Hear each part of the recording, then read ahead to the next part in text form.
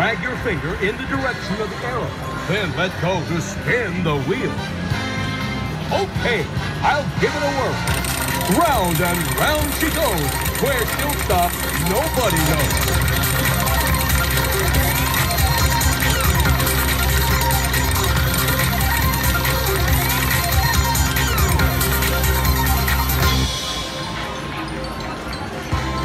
Well done!